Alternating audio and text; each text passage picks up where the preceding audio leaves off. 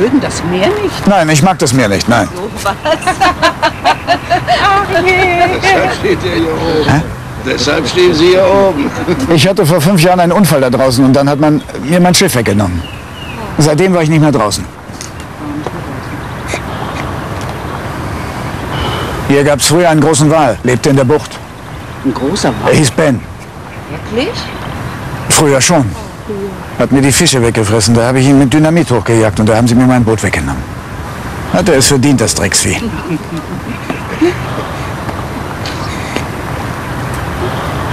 War ein Mordsknall. Die Fetzen sind zehn Meter hochgeflogen.